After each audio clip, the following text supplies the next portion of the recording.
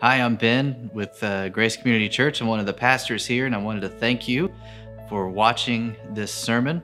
I pray that it serves you well, that it will help you grow in your understanding of God's Word, the Bible, that it will deepen your love for Christ and help you to pursue holiness in your own life.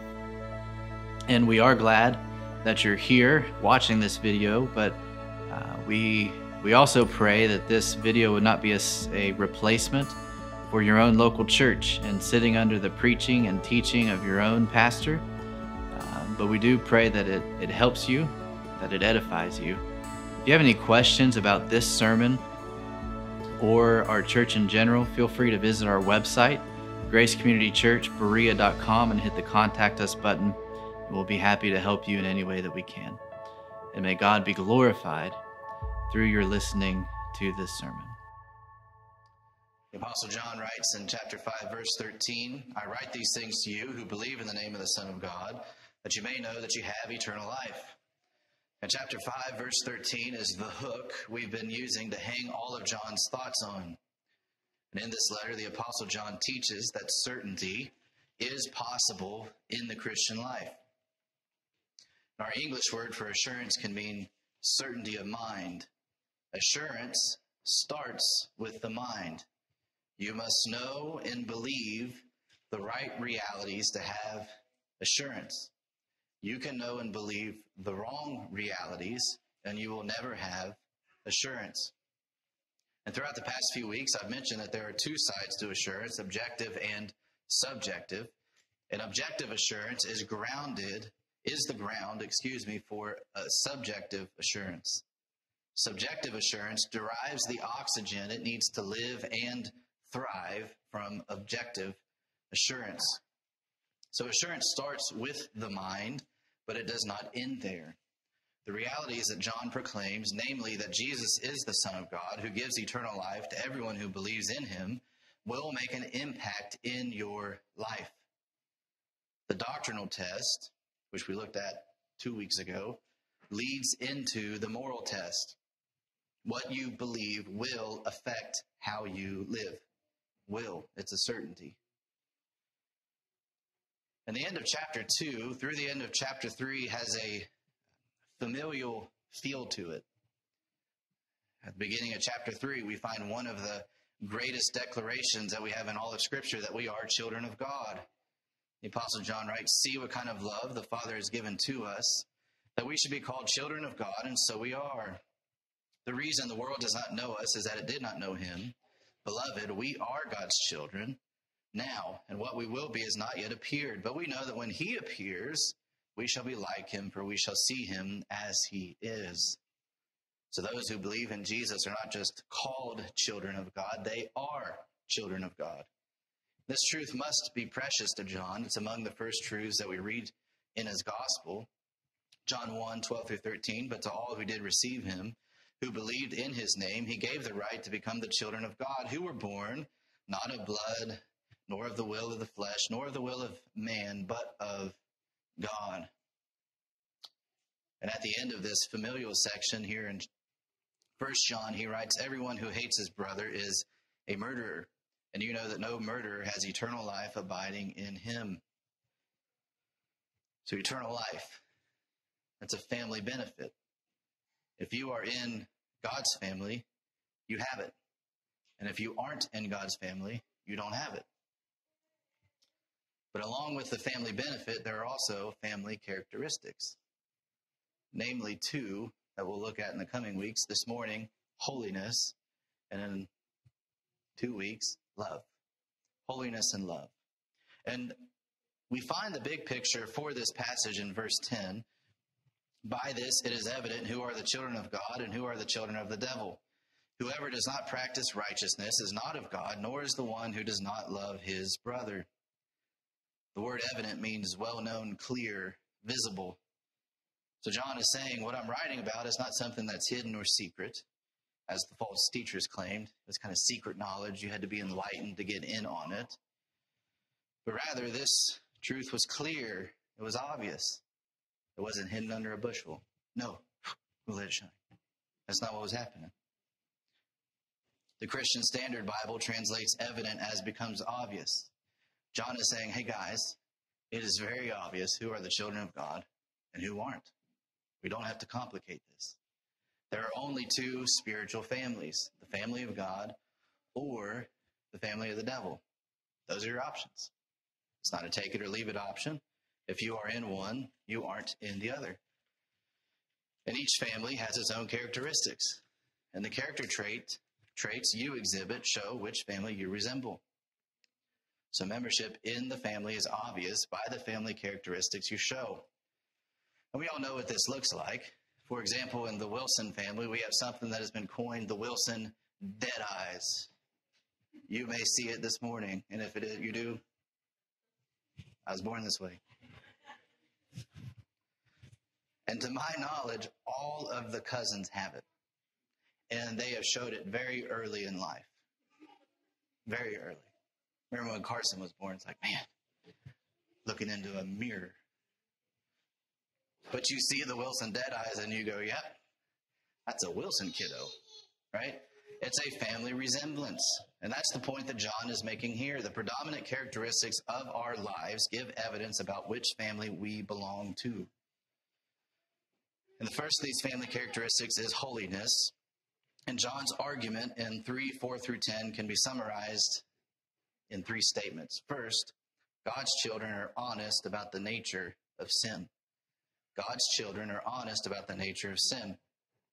And this section, I've not talked about this yet, but this section uh, shows us, gives us a little hint about John's uh, writing style. He seems to write in concentric circles. You guys know what that is, right? You start with a small circle, then you get a bigger circle, then another one, another one, another one, and so forth. So it's it's getting bigger the farther out you get from the center.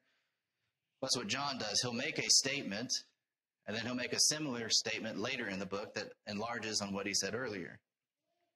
So in this passage, he does that. So instead of going through the passage starting in verse 4 and arriving at verse 10, we're going to kind of jump around the passage as it were, because I think that's going to be most helpful to see the argument that John is making.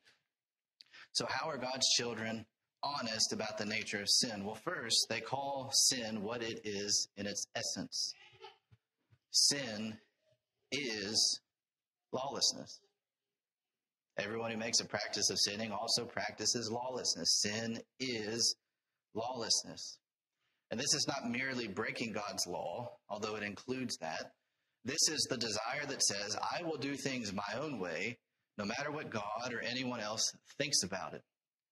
John Stott explained it this way sin in its very nature is lawlessness. Lawlessness is the essence, not the result of sin. Sin is lawlessness. So this means God's children call sin sin. If God says it's a sin, we agree with him and we say it's a sin. We don't put cute words on it. Sin is not a mistake. It is not a slip up. It is lawlessness. Sin is rebellion against God. It is hatred of God. And sin hates the fact that God exists and that he has the right to tell his creatures what to do. And it is this lawless nature of sin that causes us to say, you know what? I think the sky is purple. When God says, no, the sky is blue. Or more seriously, it is sin that makes us say that something is right when God says it is wrong, or to say that something is wrong when God says it is right. So God's children know and admit that sin is lawlessness. That's what we see in verse 4. But second, they also admit and acknowledge that sin has satanic origins. Look at verse 8 Whoever makes a practice of sinning is of the devil, for the devil has been sinning from the beginning. Sin is a family trait of the devil because he has been sinning from the beginning. And the devil can't help himself. He sins, and he sins, and he sins. He's been sinning from the beginning and will continue to sin for all eternity. And this false teaching that John condemns throughout the book had a defective view of sin. J.C. Ryle, commenting on the history of false teaching within the church, said all heresies that have afflicted the Christian church have their origin in a defective understanding of sin. where you spot false teaching, you will find a defective view of sin. So God's children do not have a defective understanding of sin, but rather a biblical understanding of sin. And that is to say, we have God's understanding of sin because God has revealed his understanding of sin to us. But not only are God's children honest about sin, they also know the purpose of Jesus' work. And John makes two statements concerning the work of Christ, which are connected by the word appeared. First, in verse 5, we read, You know that he appeared in order to take away sins, and in him there is no sin. So Jesus appeared to take away sin. The reason for Jesus coming in the incarnation was to redeem sinners by taking away their sin. Boice wrote, It is a characteristic of Christ to take away sin. We see this from the Gospels. Before Jesus was born, the angel told Joseph, You shall call his name Jesus, for he will what? Save his people from their sins. Jesus said in Luke 19:10, For the Son of Man came to seek and to save the lost. The Apostle Paul declares the same idea as the Apostle John when he wrote, For our sake he made him to be sin who knew no sin, so that in him we might become the righteousness of God. Well, how do we become the righteousness of God? Because Jesus took our sin. Jesus is the sin bearer. He came to take his disciples' sins upon himself and to grant them his righteousness. But how does Jesus, how can rather Jesus take away sin? What qualifies Jesus to take away sin? Well, it's in verse 5. In him there is no sin. There's no sin in Jesus. This is similar language to what we read earlier in 1 John, 1 John 1 5. God is light, and in him is no darkness at all. There is no sin in Christ. Just as verse 4 is a statement about the essential nature of sin, verse 5 is a statement about the essential nature of Christ. There is no sin in him.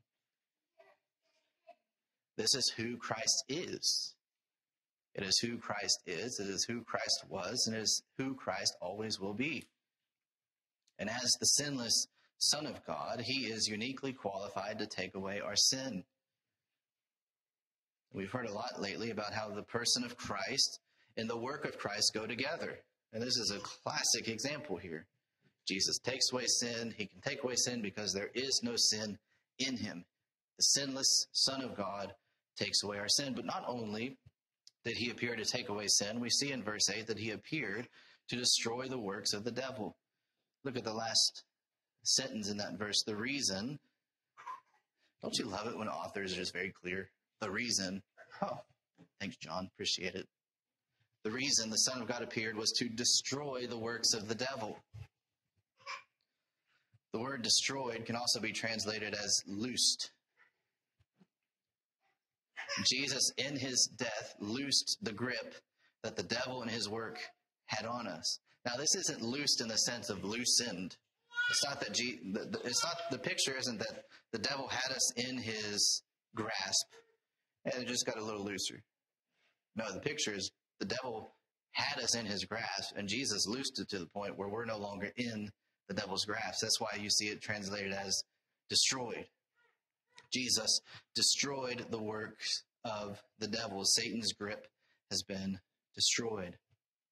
So these first two realities provide the foundation for the first character, family characteristic, which is holiness, or as John describes it here, not practicing sin. So God's children do not practice sin. Ian Hamilton is helpful here when he used two words to explain John's argument. He used the words unthinkable and inconceivable. It is unthinkable that God's children will practice sin. Well, why is it unthinkable? Let's look at verse 6. John gives two unequivocal statements here in verse 6 of why it's unthinkable that God's children will practice sin. The first one is no one who abides in him keeps on sinning. So to say that you abide in Jesus, who takes away sin, and in whom there is no sin, and still live a life characterized by sin and unholiness is unthinkable. Right? You can't claim to be close to Jesus and live antithetical to who Jesus is. It's unthinkable. It doesn't make sense. The second, second statement is no one who keeps on sinning has either seen him or known him. Seen him or known him. I believe John is just saying, uh, conveying the idea there of believing in him. To continue to live in what Jesus died for is evidence that you have not believed in him. You do not know him. It's unthinkable that you would live this way. Ian Hamilton is helpful here. To live after you profess, profess faith in Christ as you did before you professed faith in Christ is to show that you never truly believed in God's Son. So John's point is clear. It's unthinkable that God's child will remain in sin, that they will practice sin. And the false teachers were trying to deceive these believers into thinking you could have Jesus, the sinless one, and the sin which you love and crave. In other words, you can believe in Jesus without radical life transformation. In other words, you can have your cake and eat it too. And John doesn't want these beloved children to be deceived. Look at verse 7. Little children, let no one deceive you. Whoever practices righteousness is righteous as he is righteous. So, as one commentator said, the false teachers were seeking to lead them astray, not only theologically, but morally as well. So, don't be deceived. Remember, Jesus said, You will know them by their what? Fruit. But John doesn't leave the argument there. Not only is it unthinkable that God's child would practice sin, that they would be characterized by sin, it is also inconceivable. It can't even be imagined. If John were British and that thought would have come into his mind, he would have said, That's just rubbish. Why is it inconceivable that God's child would practice sin? Well, because, verse 9, no one born of God makes a practice of sinning, for God's seed abides in him. And he cannot keep on sinning because he has been born of God. The key phrase in the verse bookends the verse born of God. This is what we call regeneration. The child of God has been born of God, and therefore they are a new creation and incapable, incapable of living a life that is characterized and dominated by sin. And John furthers the argument by saying God's seed abides in them, the very life of God, as it were. That's what John is saying. The very life of God dwells within you through his Spirit. And you probably noticed as we read the text that John repeatedly uses the word practice or in another form, keeps. It's in chapter 4 or verse 4, verse 6, verse 7, verse 8, verse 9, verse 10. So we need to be careful here. John is not saying that if you sin once, when you profess to be a child of God, that if you sin once, you are automatically a child of the devil. It's not what he's saying. He is saying that if your new life as a Christian is just like your old life before you were a Christian, then you aren't a Christian. Plain and simple. Why? You don't bear the family resemblance of being in God's family. In God's family, we don't practice sin. We don't. We don't live lives that are characterized and dominated by sin. There has been a radical change in the life of God's child. If you are God's child, listen, this is reality. This isn't just philosophizing or theologizing, if that's even a word. These are realities. If you are God's child, you have a new heart with new desires, with a new motive for living. You now have a desire to practice righteousness and holiness and not sin. I don't have the exact quote with me, but one commentator said that sin is an unwelcome guest in the house of a Christian. We don't practice it, we don't associate with it. And Jesus, the Son of God, told his disciples once that my food is to do the will of him who sent me and to accomplish his work. So, as Jesus, the Son of God, did the will of God, likewise, those who are adopted children of God will do the will of God. Those who have been born will, will, will obey the will of God. Count on it. Take it to the bank. We'll be the only ones who get this. As the White Sox announcer said, you can put it on the board. Yes. He was much louder. I don't have it in me.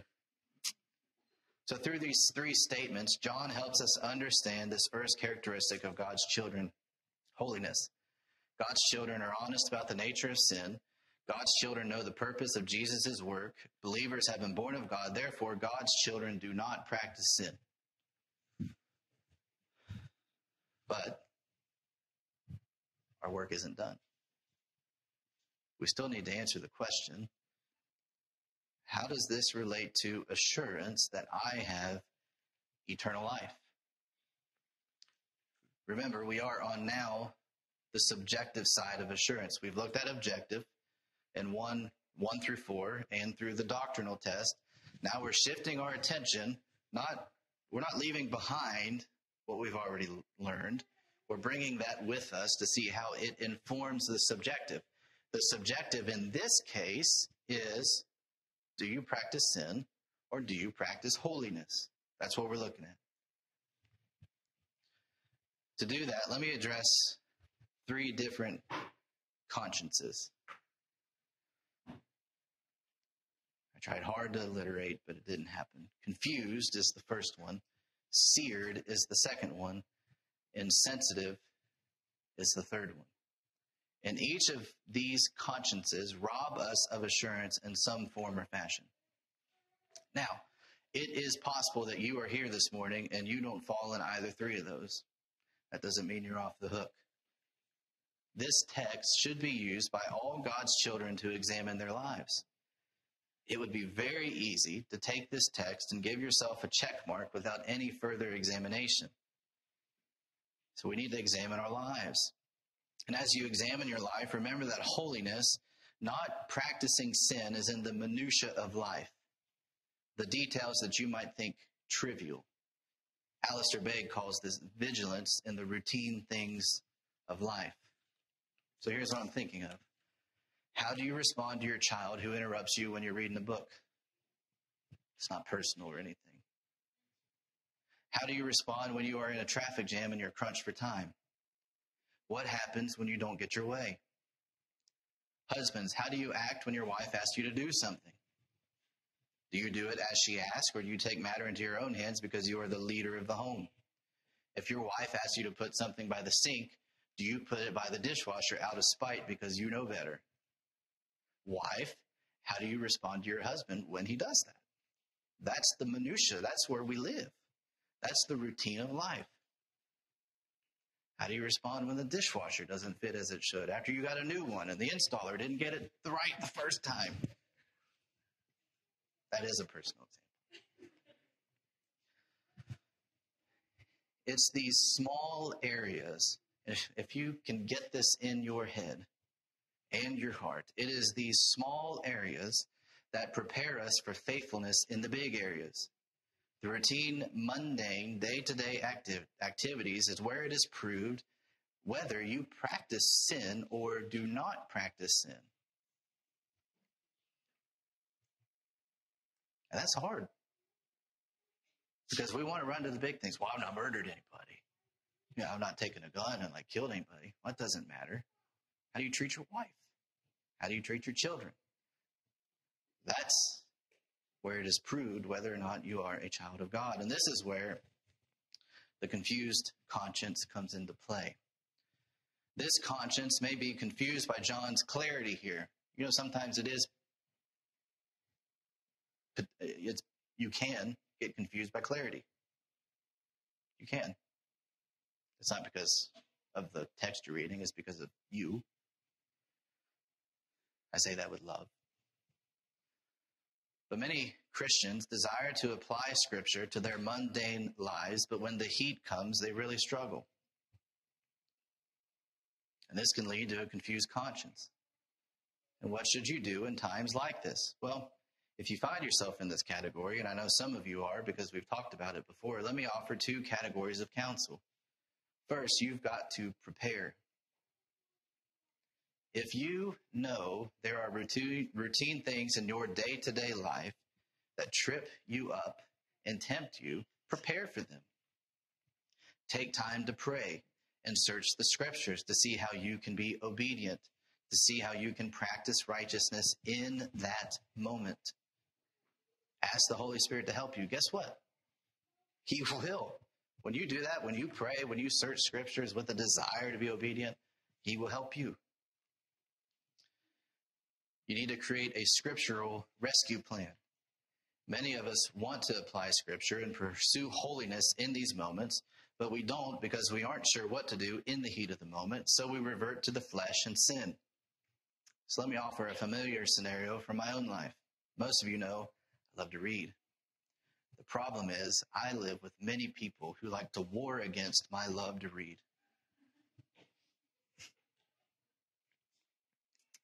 So here's a very common scenario, even though Victoria disagrees with me. This happens more than she thinks it does. I get ready to sit down and read in my favorite chair with an ice cold Diet Coke. I sit down, crack open the Diet Coke, open my book, put on my reading glasses, because I'm an old man now, and then I hear, Dad, Theo ate my snack. Theo's our dog, for anybody that doesn't know that. So there's a decision right here that I've got to make. I could act selfishly and just sit in the chair and ignore what's going on. Just read my book. Me and Joel Beeke. Just sit and read. I could act selfishly and get up out of the chair and kick the dog and then yell at the child for interrupting my precious reading time. You should have been more careful with your snack. You know that dog does that. Those are options. Or, since I know this is a common occurrence, I can prepare so that when it happens, I am prepared with the help of the Holy Spirit to walk in holiness. I can be prepared to not let this mundane aspect of life be an opportunity to slip into practicing sin. If I am prepared, I can implement my rescue plan. I can pray and ask the Holy Spirit to help, and then I can obey Scripture. I think we, we miss this sometimes. Obedience requires preparation. It does. So prepare for the small areas of life, and you will be prepared for the big areas of life. So the first category of counsel is you need to prepare. The second category of counsel is you need to act. I've also encountered Christians who have a confused conscience that they know what to do in the moment, but they are paralyzed by the moment. Perhaps it's a Romans 7 experience. But I won't follow that rabbit trail this morning. When the heat comes, they know what they want to do because they have new desires, but perhaps they get caught up in existential questions such as when do I change? How do I change? And oftentimes I've sat down with people and they will say, I pray and ask God to change me, but then nothing ever happens. To which I usually ask, What did you do after you prayed? And the response is often nothing. They did not act. You must act. Many assume that heart change happens during prayer. Now, don't get me wrong, prayer is essential for changing your heart. But if we don't act, I think we're on good a, a good foundation to say change will not come. We have to remember that change happens in the action, not before the action. Work out your own salvation with fear and trembling. Why? For it is God who works within you. We work, God works. Sanctification. As you stop kicking the dog and replace that with petting the dog, over time you change from a dog hater to a dog lover. Or when you stop yelling at your kids and start talking to them in love and grace as an image bearer, over time, your angry heart is changing. I think, you know, I love the book of Exodus. We're reading it right now for family devotions. You know, God would have never parted the Red Sea, I think, if Moses hadn't have done what God asked him to do. Well, how do you see that Moses trusted God in that moment? He, he did what God told him to do, right? And many of us, I'm afraid, are frustrated and we're like, God is not helping me when all the while we're sitting on the couch, sitting on our hands. We're not acting. Our acting is an evidence that we trust God's promise that He will work when we do what He says. Is it easy? No, it's not. That's why God tells us over and over I will help you. I will help you. I will help you. I promise. I will help you. But you, there, you often don't experience the help until you move.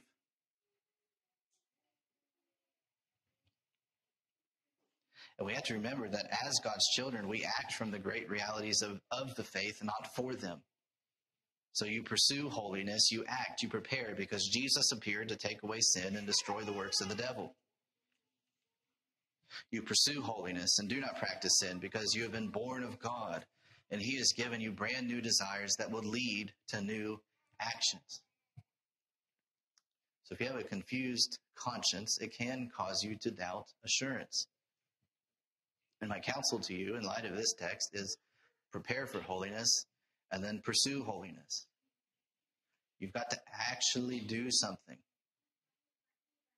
Many of us are may not agree with the let go, let God theology, but many of us in practice are let go, let God kind of people. I'll just sit here. God will do something. He won't. So practicing holiness brings assurance. The second conscience is the seared conscience. Paul wrote to Timothy about false teachers and described them as liars whose consciences are seared. And the word Paul uses for seared means seared to the point of insensibility. This type of person has sinned so much they no longer feel the pain of sin anymore in their conscience. Philip Ryken, in his commentary on 1 Timothy, wrote, The more a soul sins, the less painful sin seems, until Finally, the conscience becomes dead to all feeling. And I think this type of person is very quick to relish the great realities of our salvation, such as union with Christ, but they're very slow to uphold Christ's commands that we walk in holiness, that we say no to sin, that we say yes to holiness. The person with a seared conscience says they want Jesus, but they refuse to let Jesus touch anything in their lives, especially their idols. When confronted with the commands of Scripture, they use theology as a deflection. Well, brother, we're grace. We're under grace. We're not under law, which is true, but we still have to obey. Or you bring a clear command of Scripture, and they'll say something like, Well, the Holy Spirit has revealed that differently to me. No, he hasn't. You're a fool. You have a seared conscience. And it doesn't take big, monumental sins to get to this point. Now, as a clarification here, the person with the seared conscience lives in unrepentant sin. That's what it means to practice sin, is that you don't repent of it. What sin did Paul focus on there in 1 Timothy? Lying lying. It wasn't embezzlement. It wasn't murder. It was lying. Small lie after small lie sears the conscience. Husband, those consistent angry words with your wife are deadening your conscience. It's not embezzlement or adultery that deadens your conscience. Those sins are often the sign that your conscience is already seared. Those with a seared conscience practice sin. Now, if you fall into this category, I do have bad news for you. You can't have assurance of eternal life because I don't believe, according to Scripture, you have eternal life. So the Bible's solution for you is to repent, believe in Christ and cry out to him to save you. And guess what? Jesus says, I will. But you are in danger, grave danger. You are not in God's family. According to the Apostle John here, you are a child of the devil. You have not had the new birth. You are dead in your trespasses and sins and are awaiting the judgment of a holy God. So forsake this way of living, repent, believe, and cry out to Christ to save you. Well, the third conscience is the, I'm calling it an overly, overly sensitive conscience. This conscience is sensitive, but I don't think it's sensitive in the way that the Bible instructs us to be. Some people might even call it an overactive conscience. This is the conscience that may sin once and repent, but they still automatically assume that they are not a Christian. Now, will a Christian be broken over their sin? Yes. But they will use that sin to run to Christ, not away from Him. This conscience may read this text and is automatically in the realm of despair without examining their own lives, or really without examining the larger teaching of John, 1 John 1 8. If we say we have no sin, we deceive ourselves, and the truth is not in us. There, there is a reality, as much as we hate it as God's children, that we do sin. We hate it. We repent of it. We turn from it. So here is what John says to you if you have this overly sensitive conscience. The overall trajectory of your life is what matters. If you are characterized by holiness, you are a child of God. So John says, take heart you have been born of God and you have eternal life.